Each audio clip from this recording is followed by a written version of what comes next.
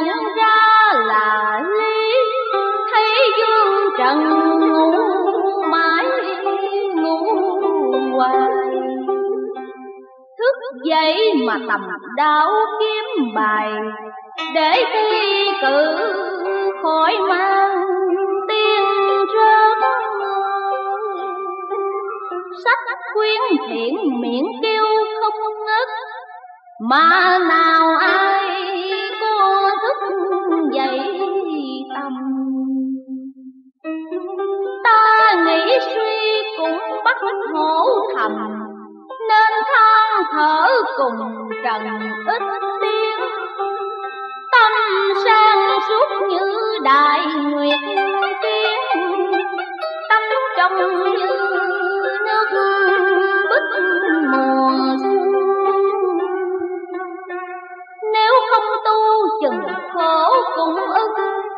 đừng có trách sao không chỉ bảo.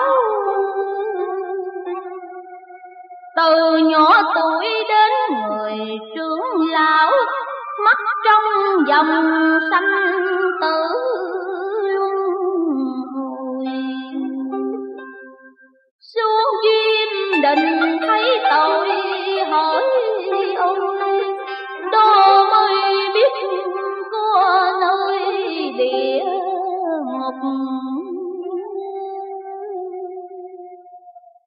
Kỳ xá tối nay còn một lúc, sao chẳng tu đặng có hưởng nhờ gặp giảng kinh trần cứ làm ngơ Trong bông kiện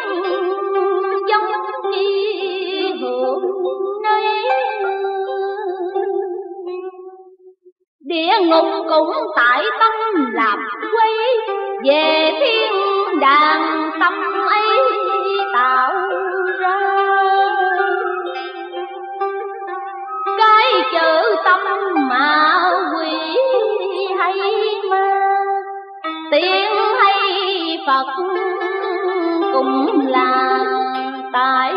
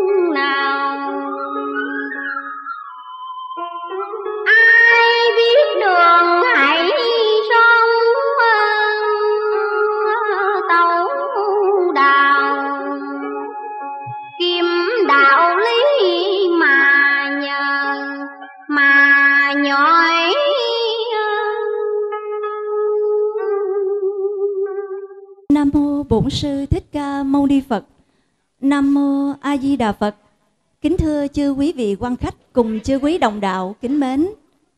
Căn cứ công văn số 4207 BTC BTSTU của Ban trị sự Trung ương phân công thuyết giảng giáo lý như thường lệ được sự chấp thuận của chính quyền địa phương. Hôm nay, ngày 3 tháng 12 năm 2017 nhằm ngày 16 tháng 10 Đinh Dậu tại địa điểm 1334 Võ Văn Kiệt, phường 13, quận 5. Ban đại diện Phật giáo Hòa Hảo thành phố Hồ Chí Minh tổ chức buổi thuyết giảng lần thứ 103 và đó cũng là lý do của buổi lễ hôm nay. Sau đây tôi xin giới thiệu thành phần tham dự. Về phía Ban đại diện Phật giáo Hòa Hảo thành phố Hồ Chí Minh, chúng tôi xin trân trọng giới thiệu bà Phan Kim Thoa, trị sự viên Trung ương, trưởng ban đại diện Phật giáo Hòa Hảo thành phố Hồ Chí Minh. Ông Quỳnh Trọng Hai, phó trưởng ban đại diện phụ trách phổ truyền giáo lý ban đại diện Phật giáo Hòa Hảo thành phố Hồ Chí Minh. Ông Bùi Văn Lời, giáo lý viên trực thuộc tiểu ban phổ truyền giáo lý Trung ương Giáo hội Phật giáo Hòa Hảo cùng tất cả các chư quý đồng đạo và thành viên ban đại diện có mặt trong buổi lễ hôm nay. Sau đây là phần nghi thức tôn giáo. Chúng tôi xin trân trọng mời quý vị đứng lên. Chúng ta nghiêm trang hướng về lễ đài để thực hiện nghi thức tôn giáo. Kính lễ Đức Phật, kính. Thôi. Kính lễ Đức Quỳnh giáo chủ, kính. Thôi. Xin mời quý vị an toàn. Để tiếp theo chương trình, xin trân trọng kính mời đồng đạo Lê Thanh Hùng sẽ tuyên đọc lại bài sứ mạng do Đức Quỳnh Giáo Chủ viết tại Bạc Liêu, ngày 18 tháng 5 năm nhâm ngũ năm 1942. Xin trân trọng kính mời đồng đạo.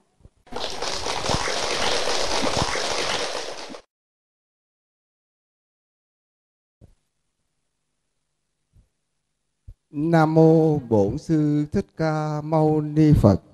Nam mô A Di Đà Phật. Thay lời tựa sứ mạng của Đức Thầy. Ngày 18 tháng 5 năm kỷ mạo Vì thời cơ đã đến, Lý Thiên Đình hoạch định Cuộc nguy cơ thảm họa sắp tràn lan.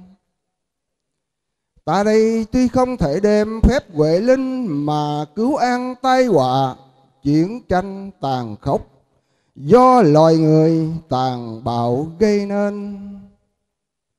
Nhưng mà thử nghĩ, sinh trong dòng đất Việt Nam này trải qua bao kiếp, trong địa cầu lăn lộn mấy phen. Tùy cơ pháp, chuyển kiếp luân hồi ở nơi hải ngoại để thu thập những điều đạo học, kinh nghiệm quyền thâm Lòng mê si đã diệt, sự dị kỵ đã tan, mà kể lại nguồn gốc phát sinh trải bao đời giúp nước vừa dân cũng đều mãi sinh cư nơi đất Việt. Những tiền kiếp giàu sống cũng là dân quan đất Việt, giàu thác cũng quỷ thần đất Việt chớ bao lìa. Những kiếp gần đây, may mắn gặp minh sư, cơ truyền Phật Pháp. Gọi nhường ân Đức Phật, Lòng đã quảng đại từ bi. Hiềm vì nội cảnh quốc phá gia vong Mãi quyền cơ đã định. Lòng thương trăm họ vướng cảnh đồ lao. Chi siết xót thương chúng sanh dạng khổ. Nghĩ lúc còn làm người trong biện tục, Lăn lộn trốn mê đồ mà chẳng quản thân, Giúp thể cứu dân, vong thân vị quốc. Huống chi nay cơ màu đà thấu tỏ, Sớm chiều hầu chân Phật nghe kinh, Ngao du tứ hải dạo khắp tiên bang. Cảnh an nhàn của người liễu đạo, Muôn ngày vô sự lỏng sạch phàm tâm.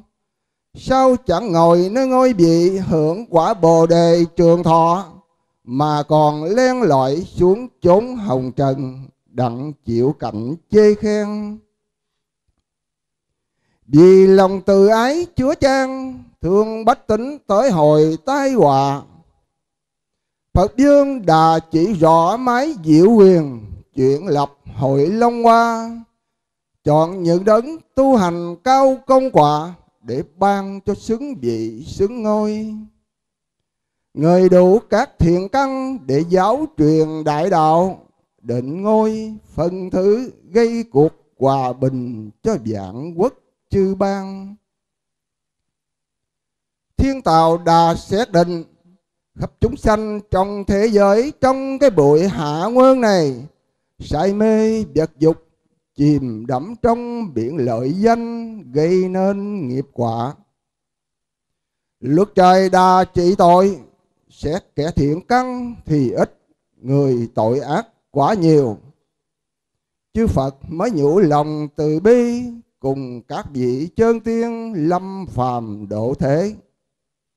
Trước ra công cứu khổ, sau chỉ rõ cơ quyền, khuyên kẻ thế hướng thiện hoài đầu, cải tà quy chánh, thì mới mong thiên đình ân xá bớt tội căn để kiếp đến long qua chầu Phật.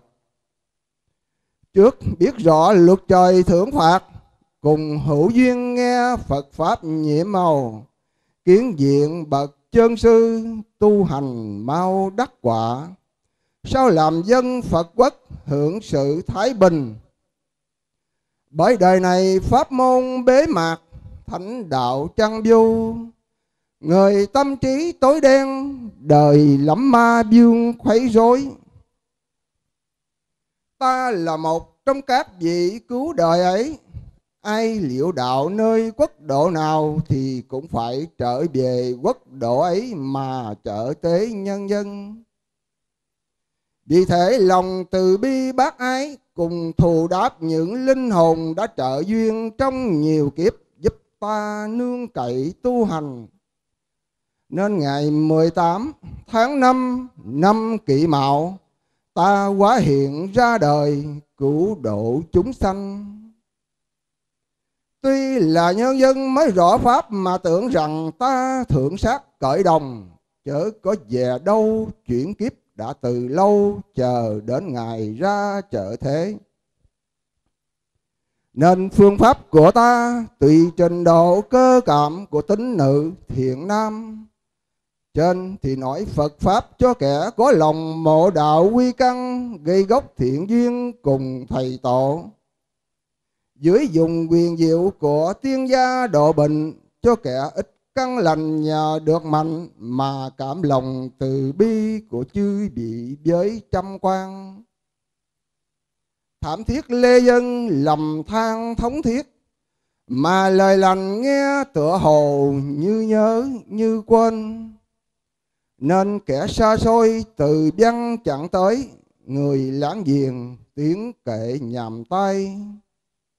Đến trung tuần tháng 8, ta cùng Đức Thầy mới tá hiệu khùng điên, mượn bút mực tiết lộ lấy thiên cơ. Truyền cho kẻ xa gần đều rõ biết, hầu ăn năn cải quá làm lành.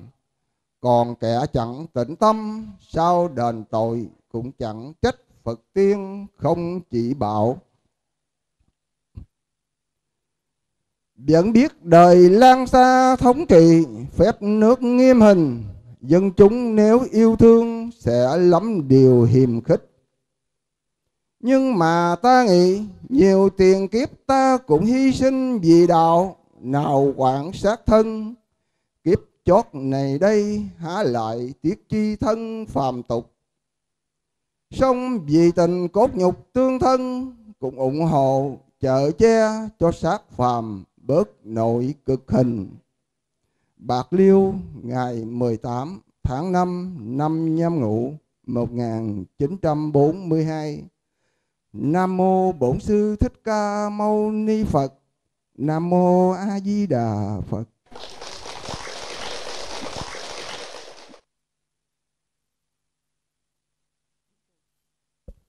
Chúng tôi xin chân thành cảm ơn ông Lê sau đây chúng tôi trân trọng giới thiệu đồng đạo Sơn Thị Thảo sẽ diễn ngâm một đoạn trong bài Khuyến Thiện quyển 5.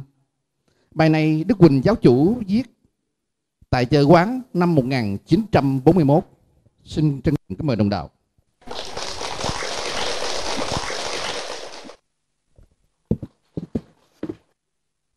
Nam mô Bổn sư Thích Ca Mâu Ni Phật. Nam mô A Di Đà Phật. Ngài bèn xét ở trong Phật chúng các chúng sanh đều có như ta. Bị vô minh dòng tường dạy ta. Nên quay lòng, ta bà cõi khổ. Lòng thương chung thuyết vương tình đồ đặng dắt diều tất cả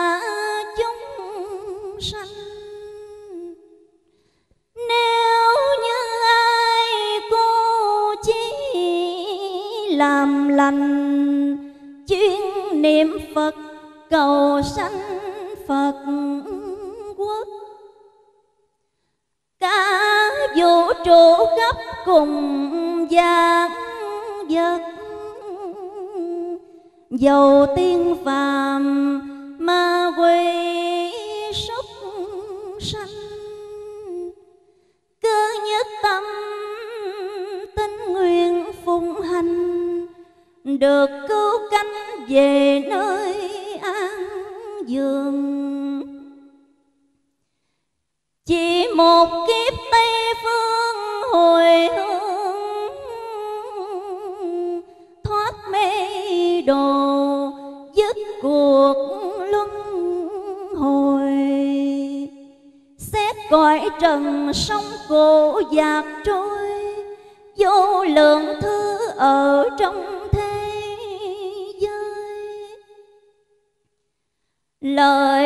phật thuyết ta xin nhắc lại. Ta bà khổ ta bà lâm khổ có bao người xét cho tột chỗ tình độ vui, tình độ nhàn vui.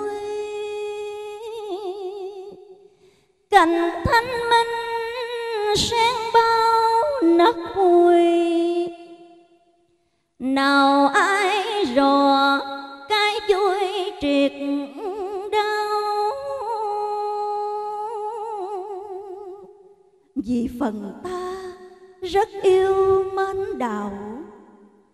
Chẳng nề chi trí xuyên tài sao lấy lời xưa kết lại ít tờ cho thiền tinh rồi nhà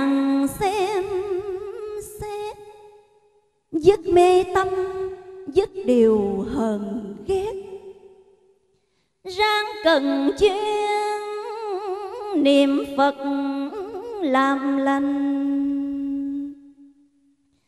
thường trao dồi chi hướng cao thanh cho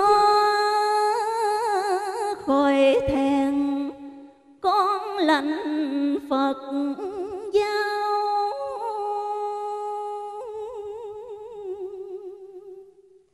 Nam mô Bổn sư Thích Ca Mâu Ni Phật. Nam mô A Di Đà Phật.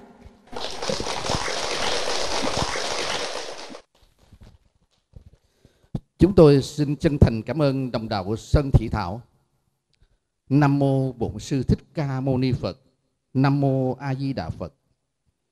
Từ nhỏ tuổi đến người trưởng lão, mắt trong dòng sanh tử luân hồi. Kính thưa chư quý đồng đạo, kính mến. Luân hồi và nhân quả là hai quy luật ắt có và đủ mà đạo Phật chỉ ra rất rõ cho mỗi chúng ta được biết. Hai quy luật này chi phối toàn bộ muôn loài. Riêng quy luật luân hồi chỉ có tác dụng khi chúng khi chúng sinh còn say đắm trong lục trần. Ở đây, Đức Tôn Sư có dạy rất kỹ ở lời khuyên bổn đạo 2, Ngài viết tại Bạc Liêu năm nhâm ngũ 1942. Và trong bài cho ông cò Tào Hảo, Ngài cũng đề cập đến Hôm nay, trong buổi thuyết giảng giáo lý thường lệ, giáo lý viên Bùi Văn Lời sẽ phân tích đi sâu vào đề tài này sâu sắc và ý nghĩa hơn. Vậy chúng tôi trân trọng kính mời giáo lý viên lên diễn đàn. Nam Mô A Di Đà Phật.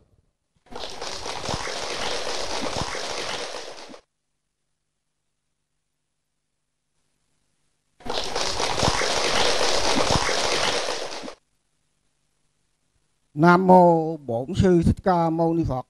Nam mô A Di Đà Phật. Kính thưa chánh quyền địa phương các cấp. Kính thưa bà Phan Kim Tho, trưởng ban đại diện Phật giáo Hòa Hảo thành phố Hồ Chí Minh. Kính thưa ông Quỳnh Trọng Hai, Phó ban ban đại diện Phật giáo Hòa Hảo thành phố Hồ Chí Minh. Kính thưa quý cô bác và toàn thể quý đạo kính mến. Thưa quý vị, hôm nay là ngày, ngày 16 tháng 10 năm Đinh Dậu nhằm ngày 3 tháng 12 2017 tôi được sự phân công của ban phổ truyền giáo lý ban trị sự trung ương về đây gặp gỡ quý cô bác để trình bày qua đề tài luân hồi thưa quý vị ta rất là tốt phước, mai duyên, sanh ra trong cái thời kỳ hạ quân mạt pháp mà được phật ra đời quý vị. Đức thầy cho biết, xưa nay không có mấy khi dương trần có phật. Vậy thì xuống đây, thành ra chúng ta rất là tốt phước, mai duyên. Và chúng ta đó mà tổ chức cái buổi lễ thuyết giảng hôm nay đó là cái công đức nó vô lượng quý vị. Đức thầy cho biết cả tiếng kêu cùng khắp chư tăng giới tín nữ thiện nam phật giáo nên cố gắng trao thân dình đạo hiệp cùng nhau truyền bá kinh lành làm cho đời hiểu rõ thánh danh công đức phật từ bi vô lượng. Thưa quý vị cái công đức này đó nó, nó là vô lượng, không thể nghĩ bàn. Thành ra đó là chúng ta rất là sanh ra trong cái thời kỳ đó là rất là quý báu. Thưa quý vị, chúng ta mà sanh ra đây có cái thân này đó, thì phải chịu đó là dưới sự chi phối của định lực thiên nhiên, tức là thành trụ ngoại không, mà ở con người chúng ta thuộc là sanh lão bệnh tử. Đó thành ra chúng ta đó là phải đó là bị sanh lão bệnh tử. Có một đó là vị sư đó trong cái ngày tết rồi đó các phật tử đó đến để chúc tết cho ông. À, các phật tử chúc tết cho ông đó là ngày tết ông được đó là sống bá niên trường thọ. Đó là sức khỏe đó là đầy đủ thì nhà sư mới chết chút lại đó. Là ông nội bà nội ông chết. Cha mẹ ông chết. Ông vợ con ông chết.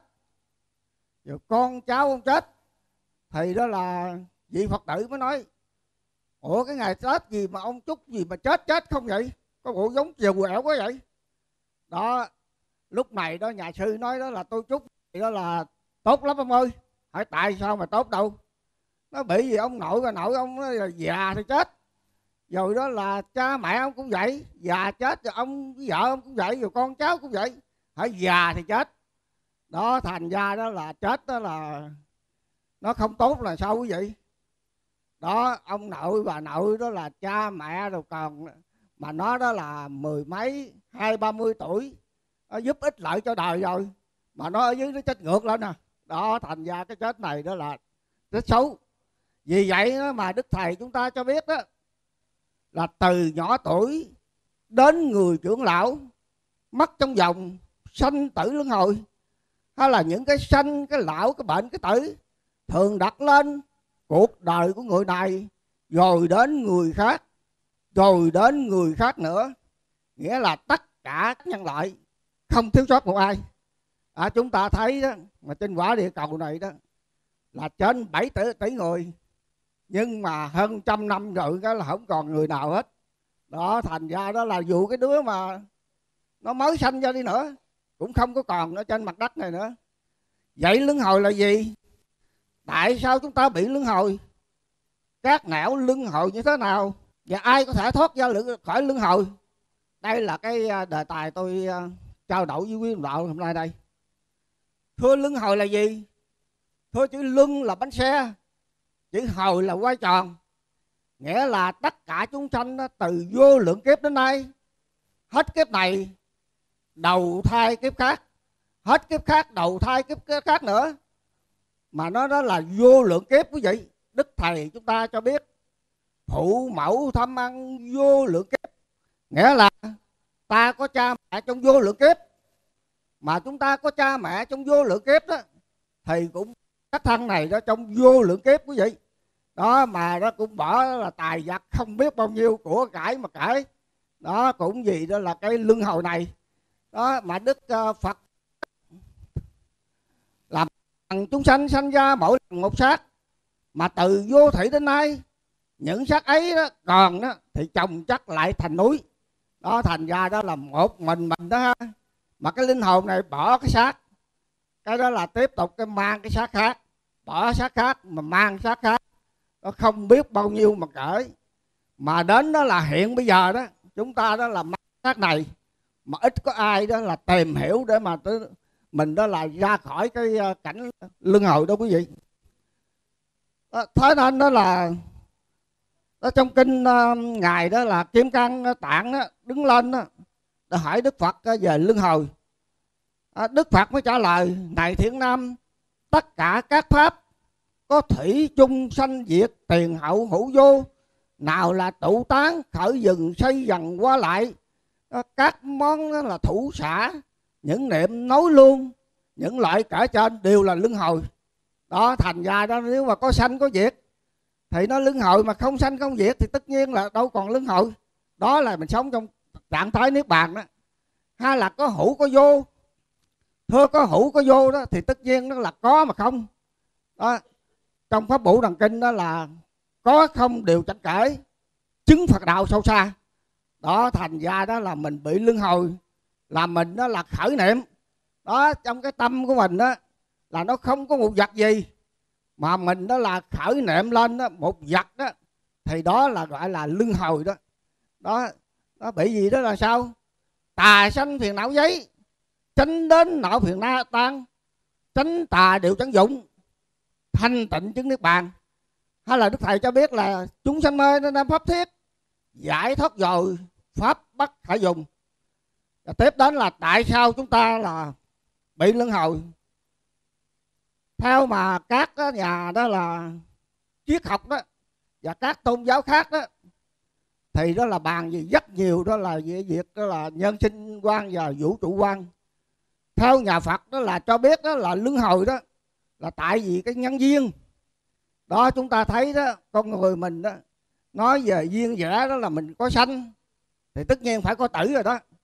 Mà nói về toàn diện đó, thì chúng ta có sanh rồi có tử rồi có tử rồi sanh sanh rồi tử. Cứ đó là nó nói hoài như vậy đó. Cũng như là cây dừa, nó có trái dừa. Trái dừa nó có cây dừa đó nó đó là luôn luôn đó đi vào đó là nhân duyên trong cái luật nhân quả đó. À, nhân tạo ra quả rồi quả mới trở lại đó thành nhân. Rồi nhân quả nó cứ tiếp tục hoài như vậy đó. Nên đức phật cho biết đó là cái này có nên cái kia có. Cái này sanh nên cái kia sanh. Cái này đó là không nên cái kia không. Cái này diệt nên cái kia diệt. Thì đó là trong là nhân duyên đó thì có những mục như sau đây. Thôi nghiệp cảm duyên khởi. Là chúng ta lưng hồi đây đó là do đó là mình tạo nghiệp quý vị. Đó là nghiệp tất nhiên là việc làm của thân của khẩu và của ý.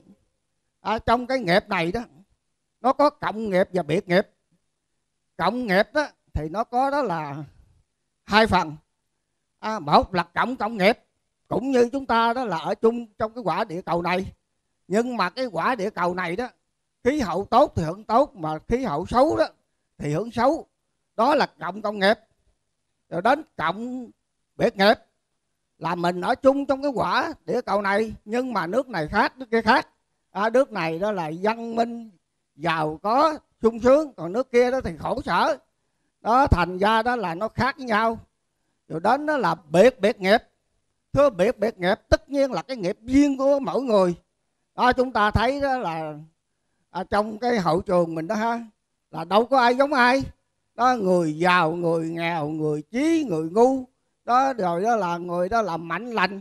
Đó, mình thấy cả xã hội này nó đủ dạng hết trơn đó. Đó là do cái gì? Đó là do cái nghiệp duyên của mỗi người. Đó mình ờ, là tạo cái kiếp trước của mình đó. Thành ra đó là kiếp này mình hưởng. À, có người đó thì nói tàn ơi tôi ờ, là à, tu hành mà sao mà gặp cái cảnh nó khổ quá. À, thành ra đó mình phải suy xét là tại vì cái kiếp trước của mình. Thành ra đó mình chịu khổ đây đó. Đó là tại cái kiếp trước. Bây giờ đó là mình làm lành mình tu hiền thì sau này đó mình hết khổ. Đó còn cái người kia đó là do mà giàu quá mà lại làm ác mà lại đó là là lại giàu có sung sướng. Đó là do nó cái kiếp trước của đó là à, cái người đó nếu mà cái kiếp này đó, mà người đó đó là làm lành, làm thiện hơn nữa đó, thì kiếp sau càng sung sướng hơn nữa. Đó là do nơi đó là cái biệt biệt nghiệp. Đó cũng như ờ, mình vào trong cái rừng cây. Đó, rừng cây đó thì đó là có, đó là trái đó, thì ngọt, trái chua, trái chát, đó là trái đắng, trái cay gì nó đủ dạng. Là do gì? Do cái hột giống. Đó, tất nhiên là mình trồng giống gì đó, thì đó là lên cái ờ, là quả nấy à. đức thầy cho biết đó lực nhân quả thật là cao diễn. Suốt cổ kim chẳng lọt một ai. Đó tiếp đến đó là à, là biệt cộng nghiệp. Tất nhiên là một người làm mà năm bảy người chịu đó. Thành ra trong gia đình nó có những người đó nó đó là hung hăng quá nó đi chơi bằng đêm cái nó quánh người ta. Nó nó quánh người ta rồi đó thì đó là à, con người ta đó quánh con người ta rồi con người ta đó mới là ta mới chở đi nhà thương. Khi mà lành mạnh rồi đó ta kéo nhau đó ta kéo nhau đến đó, thì ờ, trong gia đình đó là hay rồi đó là bỏ trốn hết. Đó là sau này nó không dám về nhà nữa. Đó là dở nhà đi luôn.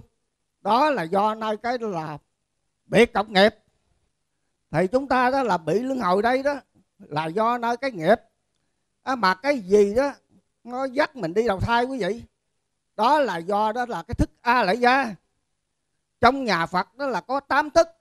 Đó là nhãn thức, nhĩ thức tỷ thức, thiệt thức, thân thức, ý thức. Thức thứ bảy là mạt na thức thức thứ tám là a lại gia thức. Đó, a lại gia thức nó dắt mình đi đầu thai. Đó, thành ra cũng như đó, là có người đó hồi kiếp trước. Đó, vì văn hóa giỏi, thành ra kiếp này đó, ta học cái bắt đầu đó là ta thuộc mau. Còn cái người kia đó hồi kiếp trước đó, về học về pháp phật đó, giỏi, thành ra đó là kiếp này đó, ta nghe giáo pháp người ta hiểu hơn ờ, cái ông kia. Đó, cũng như là đức lục tổ đó quý đạo. Đó, đức lục tổ đó thì đó là ngài dốt mà đó là ngài đó là nghe qua cái câu là ưng vô sở trụ nhi sanh kỳ tâm. Thì bắt đầu đó là ông tở ngộ liền là tại sao vậy? Tại vì ông đó là trước trong a lại gia thức đó hồi đó là nhiều tiền kiếp thành ra đó là nó khác. Đó thành ra chúng ta đó là bị đó a lại gia thức này nó dắt mình đi đầu thai và khi mình đi đầu thai đây đó là cũng có khi đó là tại vì đó cái vô minh mà đức thầy chúng ta cho biết. Ngài bàn xét ở trong phật chủng các chúng sanh đều có như ta bị vô minh vọng tưởng vậy ta nên quay lộn mà ta bà cõi khổ. Đó mình nó là bị đó là cái à, cái vô minh này là mình phải đó là bị à, lưng hồi sanh uh, sanh tử. Đó, và đó là chúng ta đó là bị luân hồi sanh tử đây đó thì à, đức thầy cũng đã cho biết chi dẫn dơ tưởng đó nhớ đây thiết mưu kế toan bề thân đối ghi thù quán trưởng điều đáp đối nên ma phiền não trượt đắm sai chuyển lưng trong nhân vật các loài căng mờ ám làm điều dại dột. Đó cũng là cái vô minh là phiền não nó dắt mình đi đầu đầu thai đó tôi đó là trình bày qua đó là nguyên nhân nào mà chúng ta đó là bị đi đầu thai quý vị. Đó, tiếp đến là bước sang đó là các nẻo đó là lưng hầu như thế nào. Đó, mình đó là tạo cái gì mà mình lại bị lưng hầu đây? Đức thầy cho biết, trong khi các trò còn ở trong biển mới sống khổ, thường bị những chướng nghiệp nhiều đời mà làm cho linh hồn phải chìm đắm trong ba cõi sáu đường xuống xuống lên lên, luân hồi chuyển kiếp. Đó là trong ba cõi sáu đường đó, tất nhiên là ba cõi là dục giới, sắc giới và vô sắc giới. Đó rồi đó là đến sáu đường.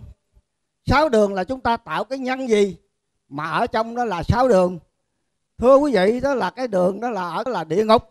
Thì cái người này đó là tạo cái tội đó là ngũ nghịch, tập ác.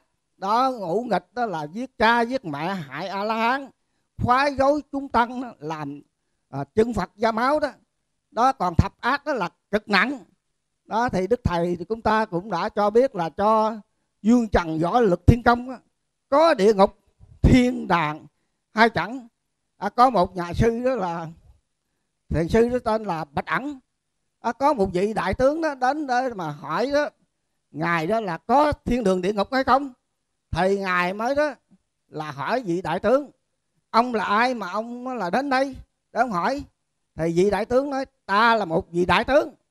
Thầy ờ, là thiền sư bạch ẩn mới nói ta đó là coi như đó là ngu si như ngươi mà làm đại tướng được sao? Thì lúc này đó là vị đại tướng đó mới phần phần nổi giận đó rút gươm ra định hành hung. Thì lúc này đó là thiền sư bạch ẩn đó đó là địa ngục đó. À, rồi đó là đó là đại tướng mới biết ý rồi. Lúc này đó à, đút gom vô đó là trong vỏ. Đó ăn năn sám hối những tội lỗi vừa qua.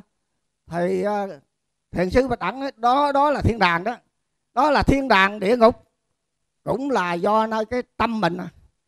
đó địa ngục đó thì cũng nó có đó là nhiều tên là bất lạc. Bất khả lạc là không thể vui không thể vui được. Bất khả cứu tế là đó là khó mà cứu ra khỏi. Rồi đó là âm minh tất nhiên là nơi tối tâm đó là u tối. Rồi đến đó là ngạ quỷ. À, làm cái nhân gì mà đó là chịu lãnh cái ờ, quả báo là ngạ quỷ.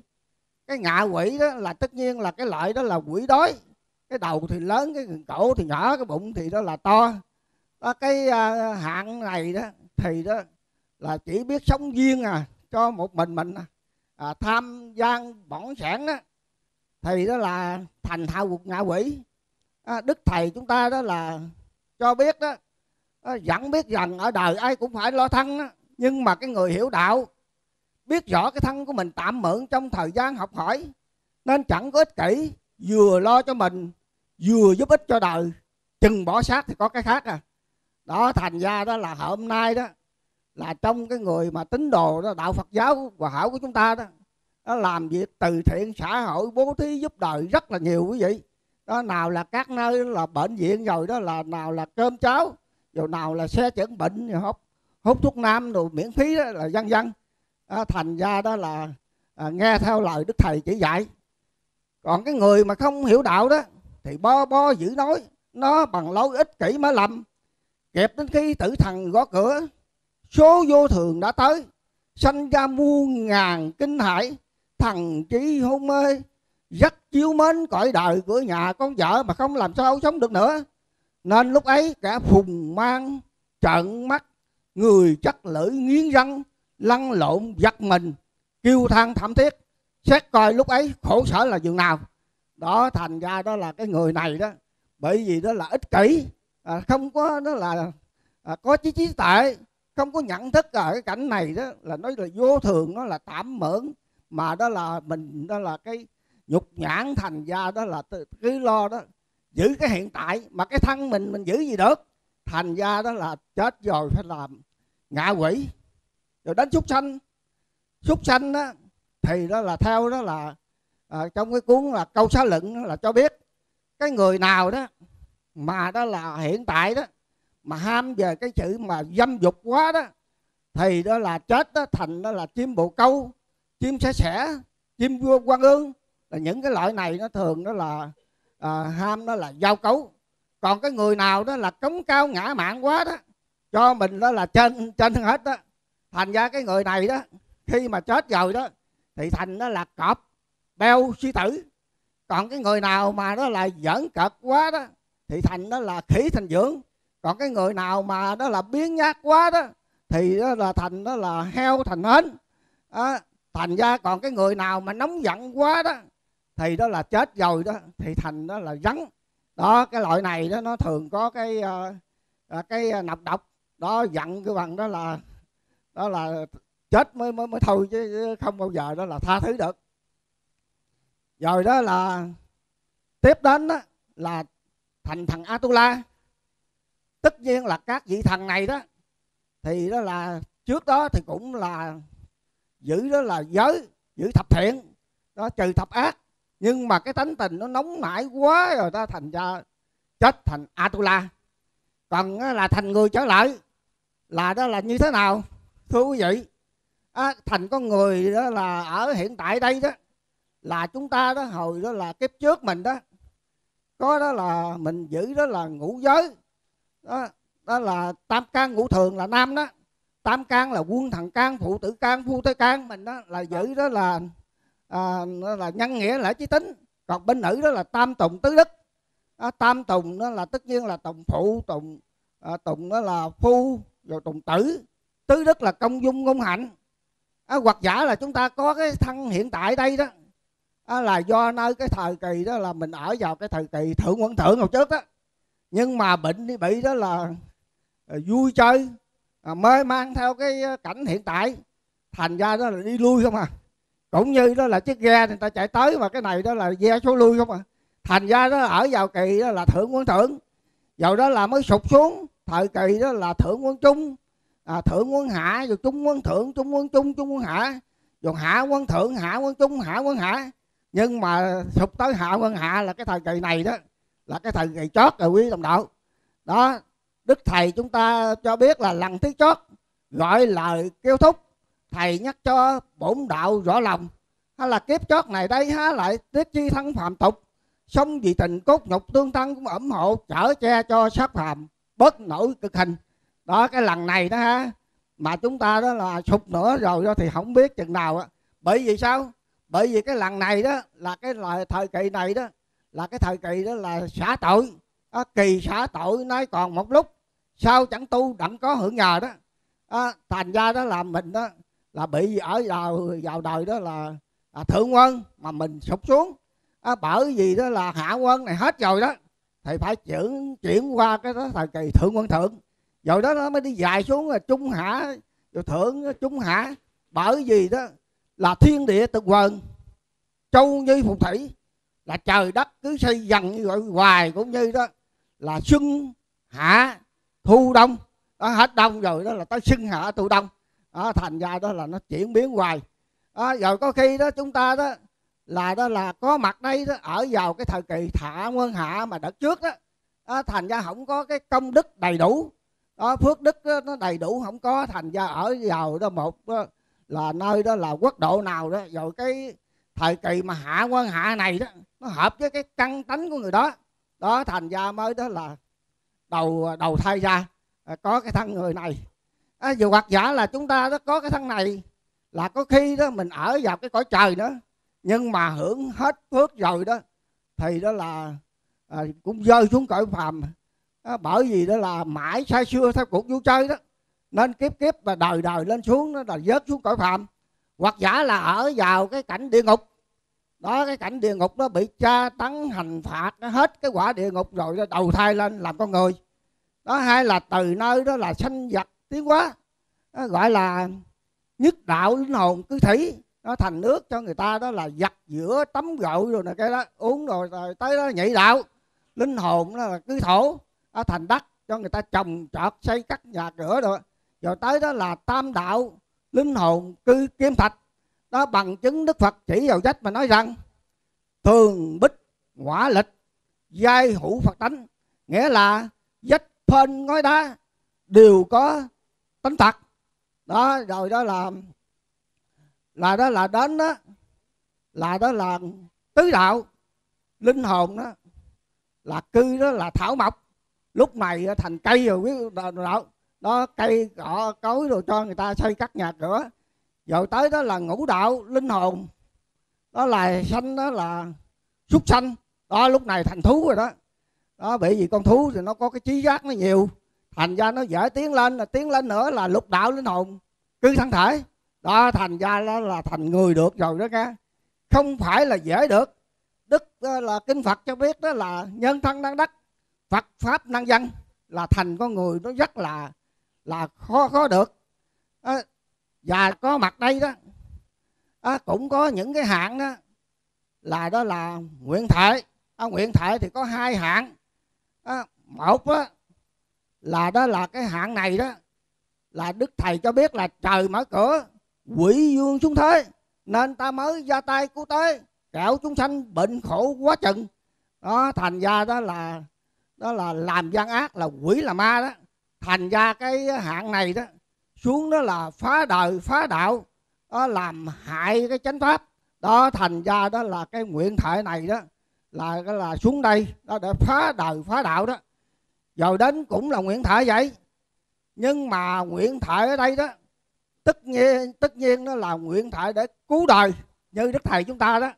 Đó, ngài đâu có phải là ở thế gian này. Ở cảnh thiên trước thơm tho nồng nặc, chẳng ở yên lại xuống hồng trần ấy vì thương chăm họ dạng dân nên chẳng kể tấm thân, lao khổ, hay là biển trầm lưng khô cạn sáu đàn, tăng sĩ mới trở về nơi thanh tịnh. Đó, đức thầy chúng ta đó là xuống đây đó, để cứu độ chúng sanh. Thì đó là, cái loài người mà có mặt nơi đây đó, là chỉ có bậc là nguyện thệ đó. Đó là đã xuống mà cứu thế gian đó, thì không có còn nghiệp. Còn chúng ta đó là bao nhiêu đó là cũng là còn nghiệp hết đó trời người thằng Atula xuất sanh ngạ quỷ địa ngục đó. Thì đó là mình đó là đều đó là mang nghiệp à, tiếp đến là về cõi trời. Thưa quý vị đó mình về đó là cõi trời đó. Thì à, thì đó là cái người mà đó là tạo cái nhân đó là tất nhiên đó là việc thập ác hành thập thiện. Hay là phước nhiều tiên cảnh lên dài. Hay là ai nhiều phước đức được vào cõi tiên. Đó là để ờ, làm đó là lành làm phước. Đó về cõi trời thì đây là cái à, đường đó là lục đạo luân hồi đó. Đó cái người nào đó là còn à, đó là mê đó còn nghiệp thành ra đó bị à, vợ trong vòng đó à, sáu não luân hồi. À, tiếp đến đó là đó là chúng ta tạo cái nhân gì? Mà đó là ra khỏi cái luân hồi và hành cái pháp môn nào chứng được cái quả như thế nào? Thì đó là đức thầy chúng ta đó à, cũng cho biết là cái người này đó là cái người đó là, người ta đó là hành qua đó là tứ diệu đời tứ diệu đời ai có mến ưa thì lão cũng cởi soi thêm nữa. Chữ tập đời nói đà mở cửa để đem vào khuôn khổ người hiền. Đó, thành ra mình vào tu đây cái mình tập quý cô bác. Đó, mình tập ăn chay, tập niệm phật, tập cúng lại, tập làm lành bố thí, từ thiện xã hội. Đó, thành ra mình tập đời rồi đến đó là mình diệt đời diệt đời đó, tất nhiên đó là mình thấy cái cảnh này đó nó là không có thật. Đó, thế gian muôn vật thải không chân chẳng khá lầm xem nhận thật chân. Nếu thấy nhìn là điều chắc thật chỗ xem thấy ấy quả không chân. Đó cái cảnh này nó không có chân thật. Đức thầy chúng ta cho biết là trên dương thế hữu hình tắc hoại. Đó thành ra mình thấy thế gian này nó nó là không. Nó thương bấy người đời không cũng không. Ruộng giường nhà cửa có cũng không. Vợ con cha mẹ lâu rồi chết danh lợi giàu sang dốt của không trăm khéo trăm khôn toàn giả tạm. Ngàn muôn ngàn kế cũng quần không suốt đời lo lắng gầy cơ nghiệp. Nhắm mắt hai tay cũng năm không. Đó thành ra đó là thành ra đó là thấy cái cảnh này nó là không nó là giả tạm nó không có gì là chân thật. À, thành ra các ngài đó mới diệt cái ờ, lòng đó là chúng ta mới diệt cái ờ, lòng đó là ờ, tham sân si trong lòng mình đó cái lòng đó là à, mến cái cảnh trần ái cái cảnh trần này nè. À, thành ra đó là diệt đời rồi đến khổ đời khổ đời đó là tất nhiên là chúng ta tu đó là chịu khổ để tu. À, cũng như là cái trên, trên đó là à, đồi cao đó rồi đó là sen nó đâu có mọc được. À, thành ra đó là mình đó là sống nó yên ổn quá đó mình không có chịu khổ để tu rồi làm sao mà chứng đạo? Vì vậy đó là mình phải chịu khổ là coi kinh sách rồi đó là à, hiểu tìm hiểu nghĩa rồi đó là à, niệm phật rồi đó thành ra đó là mình chịu khổ để tu. Rồi đến ờ, đó đạo, đạo đời đó đạo đời là tất tất nhiên đó là đức thầy cho biết đó là đức phật tổ nào đâu hẹp lượng chịu nhọc nhằn mới giỏi đạo đời thấy một đàn thẳng bẳng mà mê ôi chừng đó mới là màu nhiệm. Đó thành ra đó là đến đạo đời rồi đó là màu nhiệm là trong kinh cho biết là chỉ có cái người đó là đó mới biết thôi cũng như uống nước nóng lạnh đó, thì người đó biết. Đó đây là đức thầy viết năm 1900 đó là 39 đó trong cái uh, quyển tư đó. Rồi đến năm 1942 đức thầy đó là viết đó là giống như là đức phật thích ca. Đó nhưng mà số thứ tự đó nó có đổi là khác nhau. Đó, một là khổ đời gồm các sự độ khổ trong đời hai tập đời gồm các tập nhân sanh ra quả khổ ba đạo đời gồm có tám đường tránh bốn việc đời phương pháp diệt khổ hưởng quả niết bàn à, của đức phật đó thầy đó là giết đời đức thì đức phật đã cho đạo đời đó đức phật đã dưới à, thành ra đó là đức thầy chúng ta đó dương sắc lệnh của đức phật thích ca. Mà tại sao cái giáo điều của ngài đó à, không giống như đức phật thích ca? Thưa quý vị bởi vì cái thời kỳ của đức phật thích ca đó là cái thời kỳ đó là con người nó thượng thượng căn thượng trí. Đó thành ra đó là con người rất là sáng suốt còn cái thời kỳ này đó là con người đó là hạ căn hạ trí. Đức thầy cho biết ờ, bởi đời này pháp môn bế mạc thánh đạo chân du, người tâm trí tối đen, đời lắm ma dương phải dối thành ra ngài đó là dạy đó, là những cái giáo điều đó, nó khác hơn đó là đức phật thích ca cũng như là đó là tứ ăn của đức phật thích ca đó. Thì một, đó là ăn phụ mẫu. Đức thầy ngày hôm nay đó là đổi lại đó là ăn tổ tiên cha mẹ rồi đó là ăn là quân vương, thì đức thầy đổi lại là ăn đất nước. Mà cái thời kỳ này đó, mà chúng ta đó là gọi là ăn quân vương sao mà hợp. Đó, thời kỳ hồi trước đó thì đó là cha làm vua, con làm vua. Còn cái thời kỳ này đó là do dân bầu nó khác hơn đó, thành ra đó đức thầy đổi lại cho nó rất là phù hợp. Rồi đến là ăn tam bảo thì đức thầy vẫn giữ y. Rồi đến ăn chúng sanh thì đức thầy đó là đổi lại đó, là đó là ăn đồng bào và nhân loại. Nó rất là phù hợp.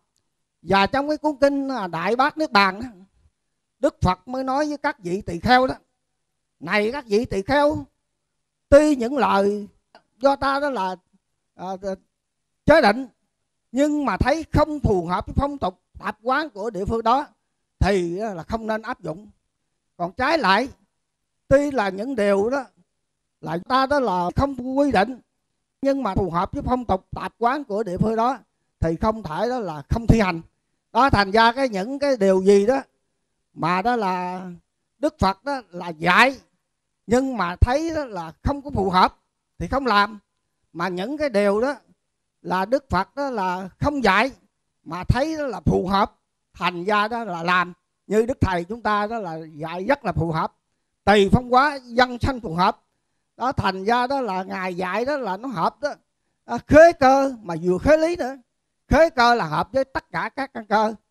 À, vừa khế lý là hợp với chân lý vô vi của đức phật thích ca. À, đây là đó là tứ diệu đời. Tiếp đến đó là là duyên giác. Thưa duyên giác đó tất nhiên là cái ờ, cái ờ, bậc này đó thì hành qua đó là diệt vô minh. Đó, đó là muốn diệt vô minh đó thì đức thầy chỉ dạy đó là phải điêu luyện khối tinh thần cho mạnh mẽ. Đặng tự lập con đường rõ ràng duy nhất của mẫu đạo mình đang học. Để lấy đó làm cương mục mà bài trừ những thành kiến, cố chấp, thói quen, sự chần chờ lòng ham muốn, tánh kiêu ngạo, tặc đố, dèm thiểm vua nịnh, ích kỷ, tư tâm. Sự gây gỗ, mê đắm trong bởi dục tình và sự phiền não nó làm cho náo loạn cõi lòng, nên bài trừ đức nói rồi trí huệ tắt mở mang vậy đó, đức thầy dạy mình phải điêu luyện khối tinh thần cho mạnh mẽ đó mà cái khối tinh thần mình yếu yếu thì đâu có thể nào mà vượt qua được. Cũng như là con chim đại bàng đó nó mới có thể cắt cánh vượt ra khỏi trùng dương biển cả. Còn con chim sơ sẻ thì nó chỉ đó là bay gần gần à. đó, thành ra đó là phải đó là, là đại hùng đại lực. Đó thành ra đó là mới có thể là vượt ra cái khỏi đó là biển à, biển khổ được. Đó. À, thượng sĩ văn đạo cần như hành chi trung sĩ văn đạo vượt tồn vượt trong hạ sĩ văn đạo đại tiêu chi bất túc dĩ đạo. Nghĩa là bậc thượng sĩ đó. Nghe đạo đó, thì sốt sắng làm theo. Bậc trung sĩ nghe đạo, thì nửa làm nửa bỏ. Bậc hạ sĩ nghe đạo đó, thì cười lớn. Nếu không cười thì phải không phải là đạo. Đó, thành ra cái gì đó mà cái bậc thượng sĩ rồi đó nghe đó, cái đó lỗi cái là từ đó tới sau bỏ cái bỏ một à. Bỏ cái một là giàu nha. Đó, bậc trung sĩ đó là bỏ nhiều lần. Đó, còn bậc hạ sĩ đó thì cười lớn à đó và đức thầy cũng chỉ dạy cái phương pháp để mà diệt cái vô minh đó. À, nếu ta tìm con đường bắt chánh đạo của phật mà đi giữ tâm thanh tịnh làm việc nhân từ không lòng hờn giận chẳng dạ ghét ganh chuyên tâm niệm phật giúp thế độ đời đừng chứa điều phiền não và để bụng tham lam ích kỷ gây máu thiện duyên lần lần trí huệ mở mang cõi lòng sáng suốt thì màn vô minh sẽ bị diệt mất. Vô minh bị diệt thì hành diệt hành bị diệt thì thức diệt thức bị diệt thì danh sắc diệt danh sắc diệt thì lục nhập diệt lục nhập diệt thì xúc động diệt xúc động diệt thì thọ, cảm diệt thọ, cảm bị diệt thì ái diệt ái bị diệt thì bảo thủ diệt bảo thủ bị diệt thì hữu diệt hữu bị diệt thì sanh diệt sanh bị diệt thì lão tử diệt ấy là giải thoát vậy. Đó. Thưa quý vị, cái vô minh này đó diệt nó cũng là dễ mà cũng là rất khó. Là tại sao vậy? Bởi vì đó là nó chạy kỵ cái là trí tuệ à. Nó bơm bỏ súng bắn gì giờ đó, nó cũng không chết nữa à, cũng như là cái ban đêm rồi đó. Vô minh là chỉ cho cái ban đêm rồi đó. À, còn cái trí tại là chỉ cho đó là ánh sáng. Thí dụ ban đêm mình bật cái đèn lên cái là đó là vô minh nó mất. Đó. Thì cái uh, vô minh này đó là chỉ cho cũng tỷ như là cái uh, mặt trăng này đó. Khi mà mặt trăng dầm đó thì nó sáng tròn đầy hết. Đó là chỉ cho đức phật. Rồi đến đó là cái mặt trăng nó lưu lại đó một chút đó thì chỉ cho bồ tát rồi nó lưu thêm đó là chỉ cho nó là duyên giác rồi nó lưu nữa thì chỉ cho thính văn. À, rồi nó đó là lưu lại lại nữa đó. Thì chữ cho nó là trời. Rồi tới đó là loài người mình đó. Thì đó là cái mặt trăng này đó là nửa sáng nửa tối à. Đó sáng là chỉ cho trí tuệ tối là chỉ cho vô minh. Rồi nó lưu dài xuống đó là đó, nó lưu thêm đó thì đó là tới thằng Atula. Đó, rồi tới đó là súc sanh rồi ngạ quỷ. Rồi tới nó lưu xuống là tới đó là địa ngục thì chỉ còn cái mặt trăng lưỡi liềm mà. À, nó không có còn sáng nữa. À, thành ra đó là cái trăng lưỡi liềm nó đâu có sáng gì. À, u mê đó là tâm tối. Đó có thể là nói đó là đức phật đó thì mười phần à, giác ngộ hết mười. Không còn một chút xíu nào vô minh hết đó, đó rồi đến đó là bồ tát thì mười phần giác ngộ hết chín phần. Đó còn đó là một phần vô minh. Rồi đến đó là duyên giác thì đó là tám phần giác hai phần vô minh. Rồi tinh văn nó là bảy phần giác mà ba phần đó là là đó là vô minh. À, rồi trời đó thì đó là sáu phần giác mà bốn phần vô minh. Còn loài người chúng ta đây đó là năm giác năm mê. Đó mình đây ở giữa chừng đó đó đi lên cũng dễ mà đi xuống cũng dễ. Đó rồi đến đó là thằng Atula.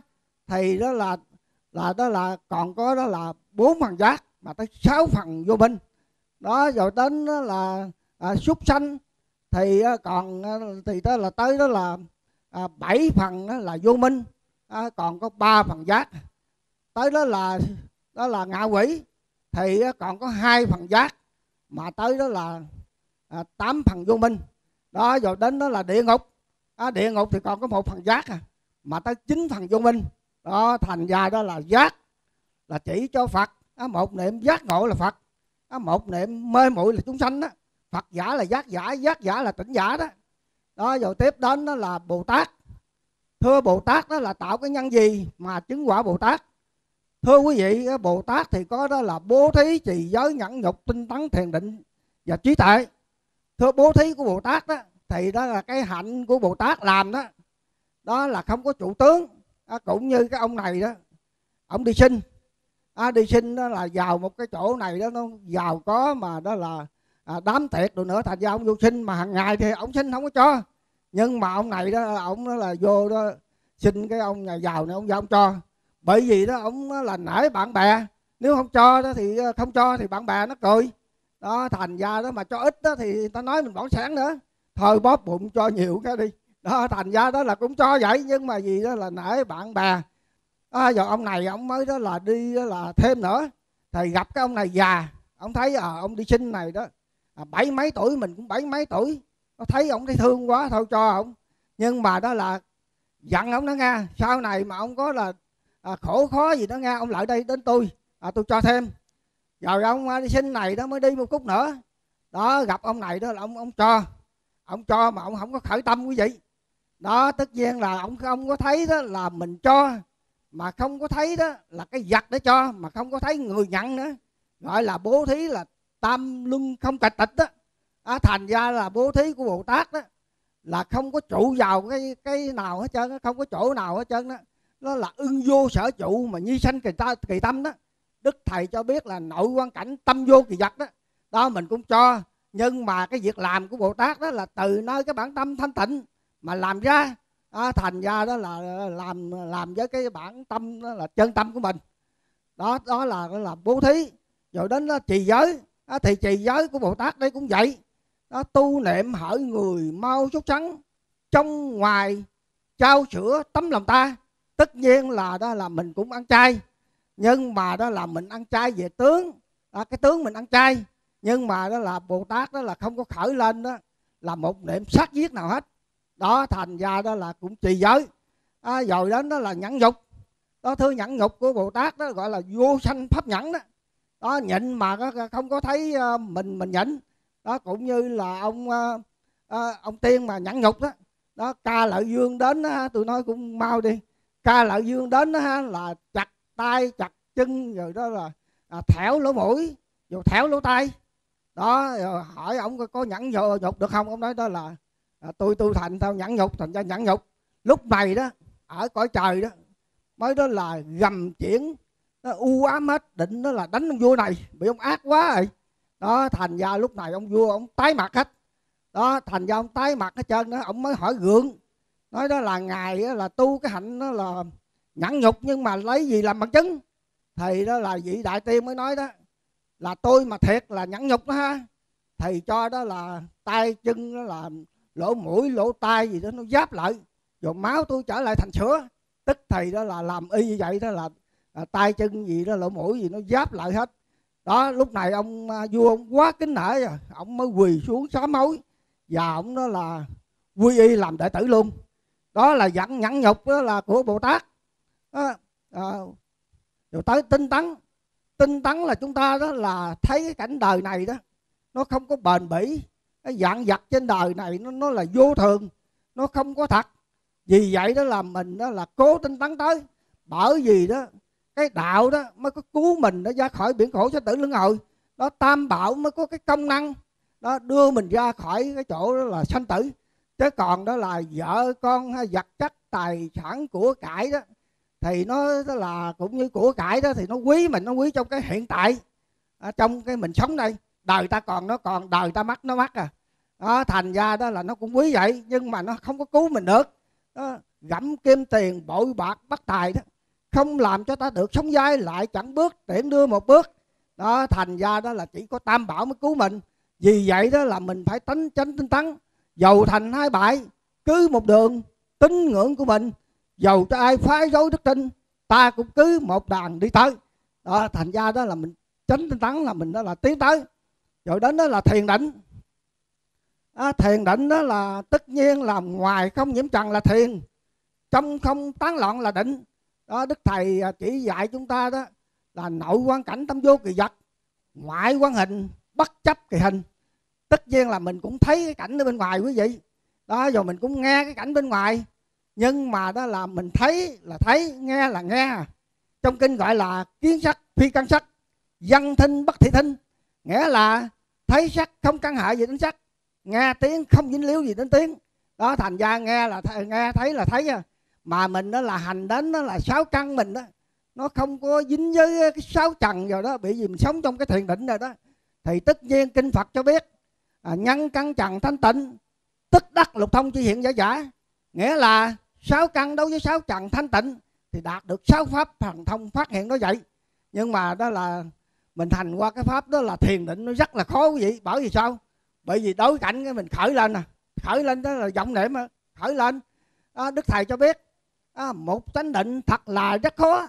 Giữ tấm lòng bất động như như cho hồn linh yên lặng an cư thì mới được quần nguyên phản bổn. Đó thành ra đó là gió bắc phong. Nó thổi là thổi mình là mình à đó mình không có sao động. À, gió bắc phong là tất nhiên là lợi suy quỷ dự xưng cơ khổ lạc đó thì trong tám thứ gió này đó nó chia ra đó là làm hai loại. À, một loại là thuận cảnh một loại là nghịch cảnh. Đó, loại đó là thuận cảnh đó thì là lợi. À, lợi đó là à, xưng à, lạc đó là danh dự đó đến với mình. Thành ra đó là là lợi là lợi lạc đến với mình. Đó xưng là tốn mình lên. Đó là đó là là lạc là vui vẻ. Đó, dự là danh dự đến với, với mình đó. Đó là cái à, bốn thứ gió đó là nó thổi vào tâm mình đó. Là sanh ra đó, là muôn ngàn đó là lượng sống tham lam. Đó, vào bốn thứ gió đó, thì nó thổi mình đó. Thì đó là nào đó là suy suy là suy bại, quỷ là ta quỷ bán mình, cơ là chơi bay, khổ là khổ não. Đó, trong bốn thứ gió này đó, mình gặp vợ cái đó ha. Rồi hết ăn, hết ngủ. Đó, nằm ngủ đó là chồng nó lăn qua lóc lợi đó, thành ra đó là không có yên. Bởi vì sao? Bởi vì mình đó là dính cảnh rồi. Đó, cái bản tâm mình đó là cái bản tâm là chân không diệu hữu đó nó không có một cái vật gì. À, nhưng mà nó ứng dụng ra đó là nó thấy biết được người phương. À, đức thầy à, chỉ dạy dạy chúng ta đó. Nếu lấy sự thiền định mà phá tan màn u minh chế phủ thầy sẽ thấy rằng ở cảnh ấy có người sẽ hết buồn hết khổ hết quả báo luân hồi. Và khi ta dùng sự chánh định mà dẹp bỏ hết các sự phiền não rầu buồn phá tan các làn sóng thị dục lôi kéo vào những não tà tâm ta chẳng còn sao động trí ta tỏ dạng như trăng dầm một màu sáng suốt không nhiễm ô cảnh ngoại. Dứt tuyệt hết các sự phàm trần lần bước đến đi đến cõi giải thoát. Tiếp đến là trí tuệ. Thưa quý vị trí tuệ đó cũng như chúng ta là chạy đó là ban đêm mà có xe có đó là xe mà có đèn đó, đó. Thành ra nó tỏ rõ hết à, trí tuệ đó nó ví như là một chiếc thuyền bền chắc. Không một lượng sống dục tình nào có thể đánh đâm được nó dí cũng như là một lưỡi búa chặt đứt bao nhiêu phiền não sân si tà kiến. Khi ánh sáng mặt trời mọc lên đó, thì bao nhiêu bóng tối đều tiêu mất. Trí tuệ của con người nó có cái công năng tiêu diệt vô số vô minh phiền não của chính mình và của người khác. Đó thành ra đức thầy chỉ dạy mình ha là tâm bình tĩnh được thì phát huệ. Thì trong là sáu chiếc thiền này đó thì chúng ta đó không phải mà đó là đi xuống hết mà đi một chiếc thuyền một à. Đó trong là à, sáu lục độ này đó mình thành một pháp một thôi. Đó bố thí mà đó bố thí của bồ tát đó thì cũng là được đó. Là đó là chúng ta đó là đó là à, từ nơi đó là đó là à, thử ngạn qua bỉ ngạn. Tất nhiên là từ nơi bờ mê mà ra bến giác. Thì trong sáu chiếc thuyền lục độ vận hạnh này đó chỉ xuống một chiếc thuyền thôi. Đó nó có công năng đưa mình ra khỏi biển khổ sanh tử luân hồi. Rồi đến đó là phật. Thưa quý vị phật tất nhiên là đó là hành qua đó quả phật đó thì phải từ bi à, hỷ, hỷ xã à, từ năng giữ nhất thiết chúng sanh chí lạc bi năng bạc nhất thiết chúng sanh chí khổ. Đức từ là ban vui cho tất cả chúng sanh đức bi là cứu khổ cho muôn loài. Đó thành ra đó là mình học theo phật đó ha. Thầy đó là cái người nào mà nói nặng nói nhẹ là hơn thua cao thấp mình đó là đó là chê bai mình đó ha, thì đó là mình đó là sao? Đó, mình làm phải mà ta chê bai mình, thì đó là mình phải càng thương thêm nữa quý vị. Bởi vì mình tu theo phật rồi. Đó, thành ra đó là sao mà thương? Bởi vì đó là nó nói nặng nó nhẹ mình, nó rồi đây đó, rồi nó phải rơi xuống cái điều đó là ba đường ác đạo là súc sanh ngạo quỷ địa ngục. Thành ra đó là ông phật thì phải thương thêm.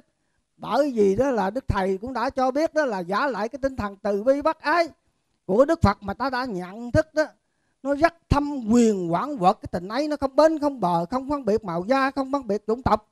Xóa bỏ hết các tầng lớp đẳng cấp sang hàng chỉ đặt vào một nhân loại chúng sanh. À, thành ra đó là mình tu theo ờ, là phật rồi đó. Thì thương hết bởi vì đó là phật ái chúng sanh như mẫu ái tử. À, phật thương chúng sanh như là mẹ thương con vậy đó. À, không có nói nặng mà không có là à, giết hại ờ, cái người nào hết chỉ là thương để mà cứu thôi thôi à, chứ không có là hại ai. Đó là đó là đức phật là từ bi hỷ xã. Và chúng ta đó là niệm phật đó. À, mình à, hành qua đó chứng quả phật đó thì phải đó là cũng niệm phật đến bản lai thanh tịnh. À, đức thầy cũng chỉ dạy là nên niệm phật là niệm cái bản lai thanh tịnh của phật. Cho lòng mình nương theo đó mà được thanh tịnh và chẳng còn trượt nhiễm chẳng ai. Đó thành ra đó là mình niệm đó là đến cái bản lai thanh tịnh. Kinh di ma cho biết dục đắc tịnh độ đương tịnh kỳ tâm tùy kỳ tâm tịnh tức phật độ tịnh nghĩa là muốn sanh về quốc độ của phật trước nhất tâm mình phải tịnh. À, tâm mình tịnh tất nhiên là cõi đó là phật được tịnh. Đó thành ra cái tâm mình đó là bình tĩnh thì đó là phật đó thì bao nhiêu đó là tất cả các pháp môn của đức phật đó là chỉ dạy mình đó là trừ cái vọng niệm là trở lại cái bản tâm thanh tịnh. À, kinh phật cho biết à, bát dạng tứ thiên pháp môn giai nhị đạo chân phản vọng như quy chân giả kỳ tệp kính dị hành giả di niệm phật nhất môn nghĩa là tám môn bốn ngàn pháp môn của phật thiết gia đều dẫn dắt người ta dứt vọng mà về chân. Trong đó có một pháp môn tắt ngang dễ tu hành. Chỉ có pháp môn niệm phật mà thôi. Đó thành ra nói nhiều pháp môn nhưng mà đó là gom lại đó. Là pháp môn niệm phật nó nó dễ hơn hết. Thì trong đó là um, nó là lục đạo luân hồi đó. Rồi đó là tu đó là tứ thánh đó. Tu tứ thánh lục phàm đó. Thì tứ thánh đây đó là thinh văn duyên giác bồ tát phật thầy đó là chỉ có cái pháp môn đó là niệm phật à là dễ hơn hết. Bởi vì đó là pháp môn niệm phật là pháp môn thù thắng hết. Đó pháp môn niệm phật đó là độ được ba căn. Thượng căn trung căn hạ căn đó là đều tu để được. Còn cái tu cái pháp môn khác đó thì nó khó mà đó là là đạt được. Bởi vì đó là ấm cảnh sẽ thấy hiện ra chớp mắt là theo đó.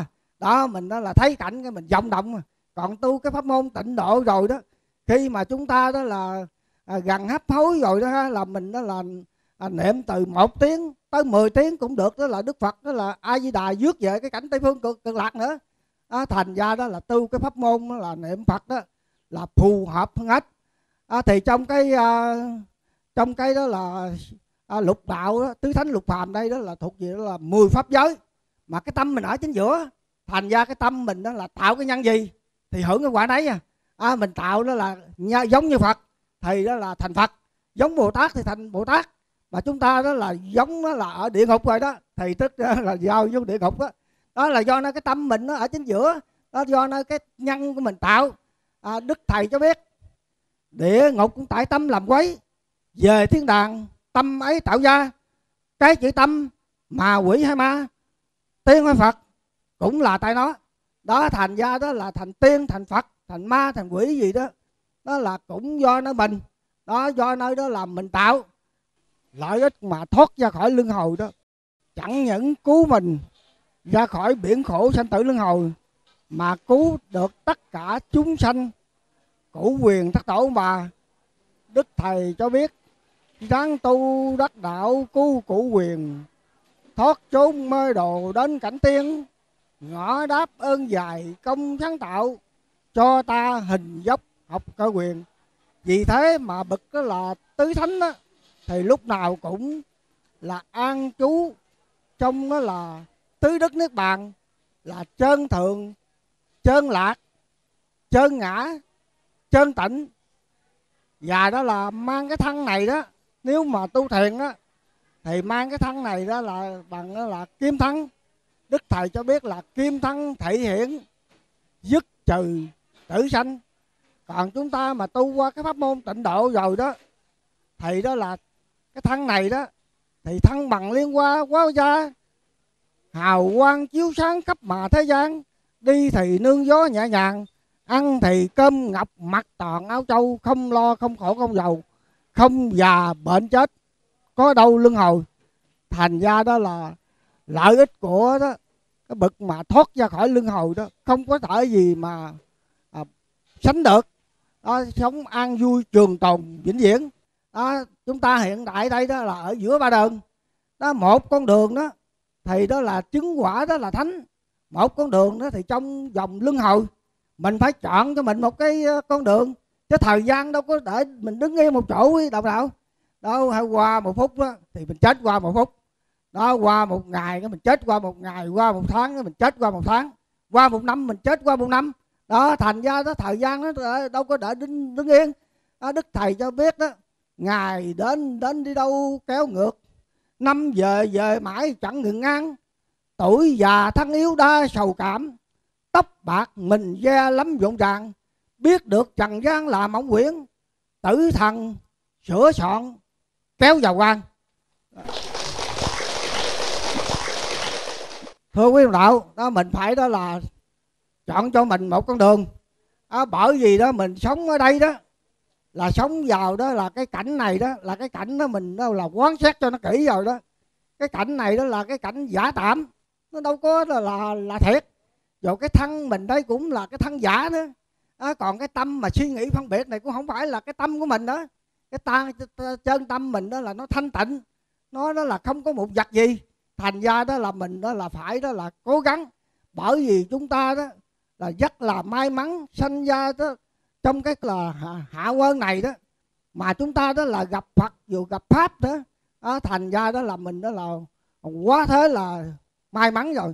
Mà đó là sanh làm làm con người đó thì đó là rất là khó mà đó là được Phật pháp đó lại càng khó khó khó nghe hơn nữa. Đó, vì vậy mà ông A Tư Đà đó khi mà ông tha đó, ông đó là xem tướng thái tử rồi đó thì ông đó là bùi ngùi cảm động. Đó, vua tịnh phận dương đến đó, để đó là hỏi thì ông mới thôi rằng à, trước cung điện ông liền bày tỏ rằng tử hoàng chừng được thành nhân lìa đền đài khổ cực chẳng sơn tìm đạo lý dắt diều sanh chúng. Ngài sẽ được thế gian ca tụng chắc thằng ngài quả phật giảng tròn. Buồn vì tôi tuổi lớn sức mòn chẳng sống đặng nghe lời phật tiết cả hồng trần đau thương thống thiết nhờ ngài mà diệt nẻo lương hồi. Vô phước nên tuổi bấy phận tôi chớ chẳng có điều chi lo ngại. Thưa toàn thể quý ông đạo đề tài đó là à, về đó là lương hồi đó. Của tôi trình bày đến đây đó cũng dứt. À, trước khi dứt lời tôi không quên cầu chúc cho toàn thể quý đồng đạo. À, thân tâm là thượng an lạc.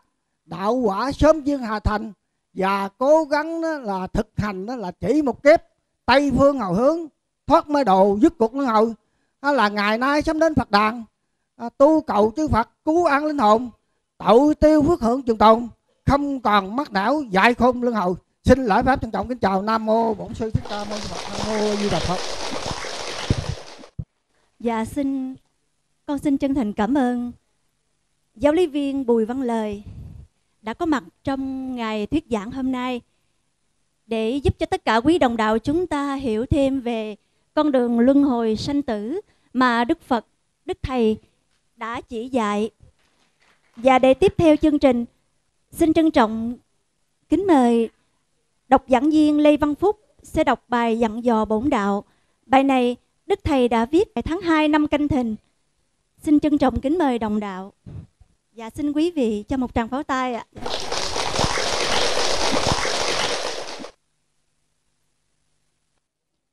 Nam mô A Di Đà năm mười tám rõ ràng. Cùng sớm cuối làng ai cũng cười reo. Xuống trần nhằm bối ơi nàng eo. Gẫm trong dân sự còn nghèo chữ tu hạ quân sanh chúng am u, tây phương sắc lệnh dân du nam kỳ. Mượn nhằm một xác ơi nhu mì dạng dân sáu tháng dậy thì xem sao rất buồn bá tánh ơi biết bao. Nạn nguy sắp đến mà ngao du hoài. Viết ra dạng kệ bốn bài.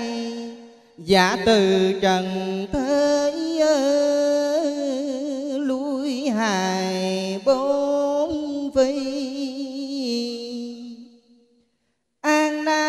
phong quá ơi lại nghi đời nay dân vật bỏ đi chẳng dình. Mạng lo chơi nhạo trong kinh, chẳng toan đạo đức mà dình thôn hương.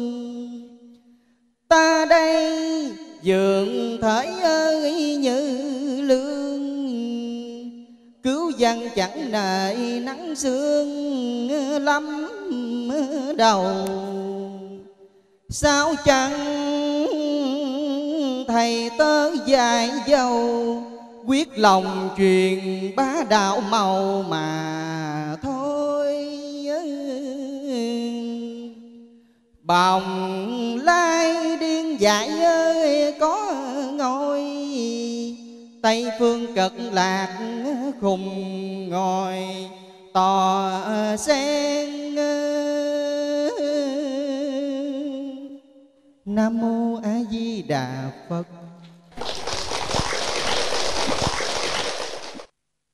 Chúng tôi xin chân thành cảm ơn đồng đạo Phúc. Kính thưa chư quý vị đồng đạo, chương trình thuyết giảng lần thứ 103 đến đây đã hoàn mãn.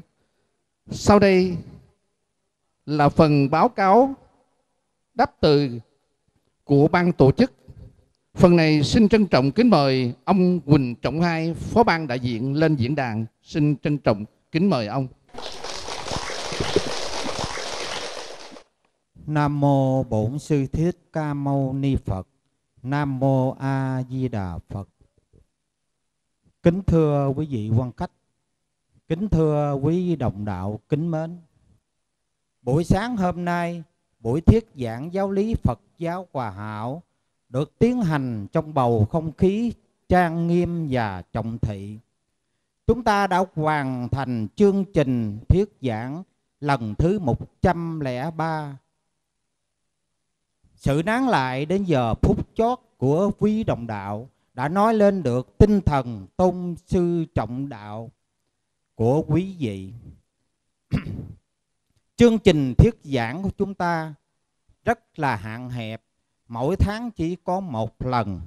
Vì thế, chúng tôi mong tất cả quý vị đồng đạo động viên cổ vũ cùng nhau đến tham dự đông đủ chẳng những làm tăng thêm phần long trọng cho buổi thuyết giảng mà sự hiện diện của quý đồng đạo đó cũng là niềm kích động to lớn đối với ban tổ chức chúng tôi.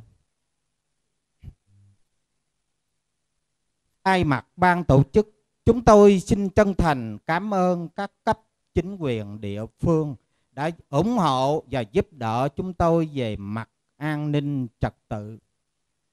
Xin cảm ơn quý toàn thể quý đồng đạo, các mạnh thường quân, các nhà hảo tâm đã đến tham dự và ủng hộ tịnh tài vật làm tốt cho buổi thuyết giảng. Xin cảm ơn giáo lý viên Bùi Văn Lời với lời văn giảng dị dễ hiểu đã giúp cho thính chúng một buổi thuyết giảng. Sau cùng, Xin cảm ơn các anh chị em đồng đạo phụ tác các công tác ánh sáng trù phòng tiếp đại đã là hoàn tất phận sự được giao giúp thành công chung của bữa lễ. Đến đây chúng tôi xin tuyên bố bế mạc buổi thuyết giảng. Nguyện cầu chư Phật mười phương, Đức Thầy gia hộ cho toàn thể đồng đạo chúng ta bồ đề tâm tinh tấn đạo quả sớm chiên thành xin cảm ơn và xin kính chào quý đồng đạo. Nam mô a di đà phật.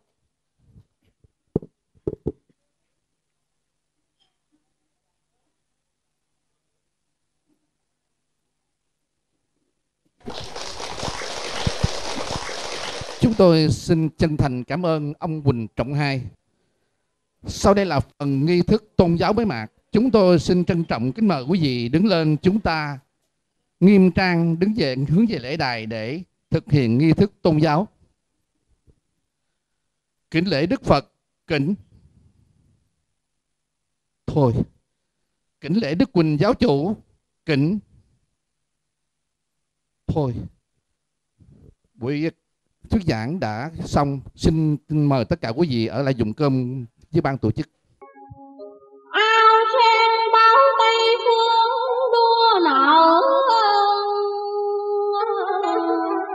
Chờ chúng sanh niệm phật chí tâm. Ráng tu cho quỷ kiếp thần khâm được tâm phát bồ đề vững chắc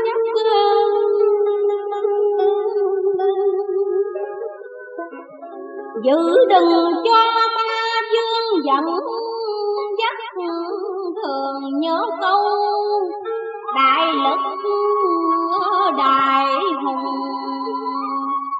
Thăng thất tình giữ vẹn đạo trung trừ lục dục chớ cho ô nhiễm.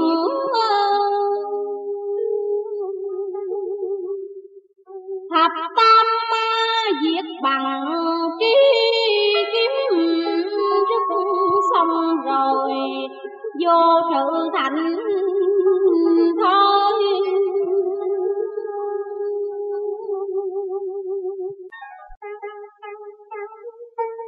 biển hồng tầng lao dịu dơi. Xô đẩy mãi trong dòng mũi cược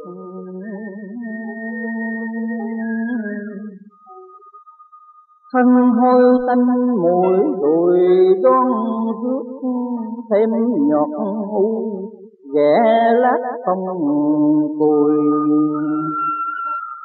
Đâu lúc nào toàn vẹn yên vui, là kiếp được ta sinh tệ trước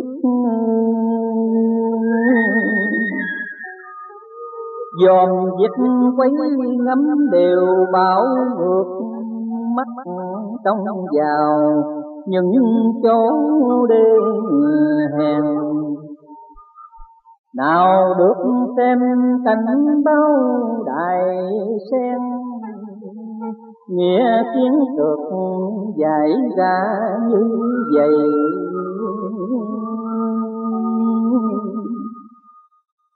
Trí dần gia tưởng đó nhớ đây thiết mưu kế toàn bề thân thối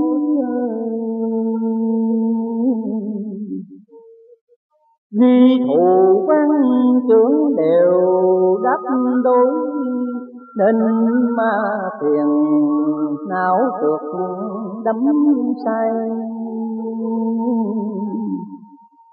Chuyện luân trong nhân vật các loài Căng mờ ấm làm đều giải dột.